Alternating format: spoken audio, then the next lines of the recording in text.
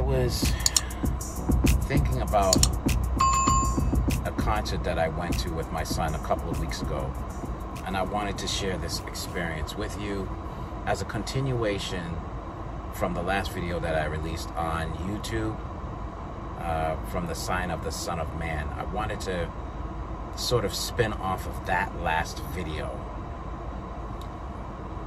About a couple of weeks ago now, my son and I went to a concert, and um, it was a concert that he had planned to go to for about a year or so. And of course, he was going to take me with him, and it was a boys' night out type deal. Well, finally, the day came when it was time for us to go to the concert. When the concert began, just like any other concert, they would have an opening act and then they would have the main act. Well, this opening act intrigued me a lot because of what was said during the opening act. It was these two young ladies who were twin sisters, and um, they were doing their performance. But in between their performance, they were um, saying a lot of mockeries, I would say, with relations to praise and worship.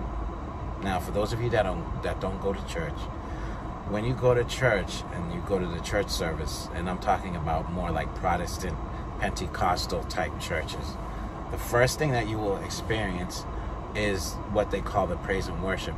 And this is a time when you have the song leader uh, lead the congregation in about three to four songs. Usually it's two fast songs and then two slow songs. I know because I was a praise and worship music director uh, for a while. And um, and what they will do between the songs, they would do something like what they call exhortation, where they would say, "Come up and lift your hands, Come on, lift your hands and praise the Lord. Give him glory, give him honor, give him praise to encourage the congregation to respond in kind. And, um, you know, sometimes the services will go where uh, when the Holy Spirit takes over, you know, they would start speaking in different languages. I mean, you have to be there to experience it. Anyhow, going back to this concert, I realized that the women were talking in the same vernacular, the same jargon. Now, you may ask what is wrong with that. There's nothing wrong with that, except I believe it was uh, being presented in a mockery format because the type of songs that they were singing was more a um, type of secular uh, set. There, there, was nothing really to do with Jesus or God or anything like that, and that's okay. That you know, we understood that the concert was secular, and that's fine. I have no problem with that. But it was just what they were saying between their songs. And they would say things like, okay, and we're going to um, go before our king and we're going to worship our king. Um, and then they would giggle and they would laugh. And then they would say things like, uh, okay, now we're going to speak in tongues, you know, or when they were drinking their water uh, because it was hot, they would say, okay, we're going to take our holy water. So my son and I looked at each other and we're like, man, what gives? I wonder why they're doing that. Well, uh, a little ways into their act, they said that they were a part of a cult. They said, "Oh, we just want to let you know about us. We're," and they said their name, and they said we were part of a cult at one point. And I'm like, "What kind of cult would talk about Jesus?"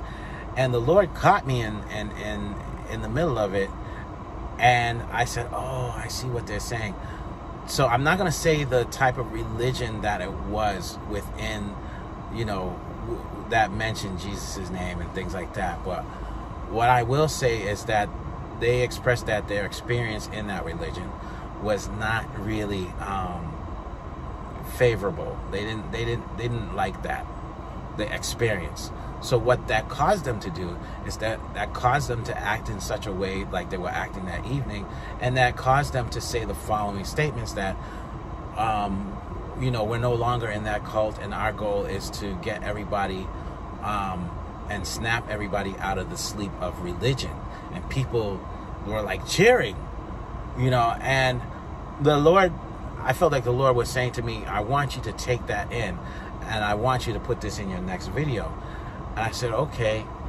And the Lord, I felt like the Lord was saying that um, he said, the reason why Jesus was saying that many nations will hate you for my name's sake was because we we do not present Jesus in the way that our heavenly Father um, asks us to do according to His will. What we have tendencies to do is we have tendencies to take what we know and take what we've been raised up in, and we never grow from that foundation that was planted and we start turning things into a religion and what happens is that when we attempt to present things to people uh, concerning christ or god um, it's in a manner that is not welcoming it's it's more in a manner that is repelling people away from the kingdom of god as opposed to attracting people towards the kingdom of god and what happens is that we if we're not careful, we'll start browbeating people because they don't believe what we believe. Even if the intention is good, we start bullying people into what we deem as the gospel and that that winds up turning people like these young ladies which I I just had so much compassion for it just turns in tr- turns them into a rebellious people because of how uh, or what their experience was like, um, and now their their depiction of Christ is no longer uh, an inquisitive. It's no longer a nature of a person that wants to know more about this kingdom. It's more a nature about uh, people that would like to get as far away from this kingdom as possible. Now, here is a Bible verse of scripture that I wanted to read to you just to get a better sense of what Jesus was saying. Okay? So, remember, in the last uh, video that I uh, presented before you, we talked about the little foxes that spoil the whole vine. And the idea that I was looking to project in that video is the fact that there are people within the kingdom that would be considered as extremists, okay? And the way they present this so called gospel of the kingdom is not in an healthy matter, but in a condescending, condemning, poison type of fashion. I wanted to read you something from Luke chapter 18, starting at verse 9, and it was a parable that Jesus spoke to break this down.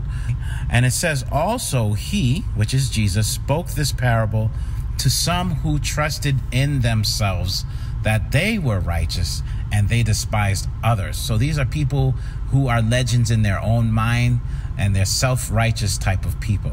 In verse 10, it continues to say that two men went up to the temple to pray.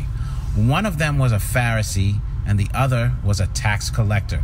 So I'm going to pause right there and let you know that in those days, tax collectors were considered almost like terrorists or extortionists in those days. Very evil, evil type of people.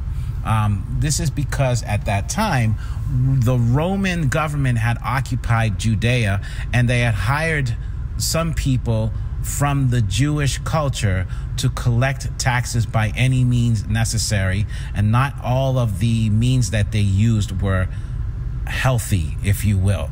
So it proceeds now to go into verse 11.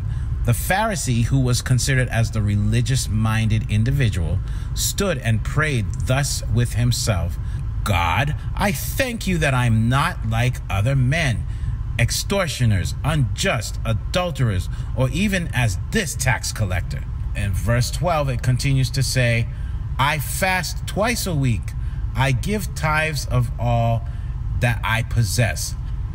Verse 13 says, And the tax collector, standing afar off, would not so much as raise his eyes to heaven, but beat his breast, saying, God, be merciful to me, a sinner. Verse 14 says, I tell you, this man went down to his house justified rather than the other, which was the first religious minded guy who, who thought that his stuff doesn't stink when he was praying. And it continues in verse 14 saying, For everyone who exalts himself will be humbled, and he who humbles himself will be exalted.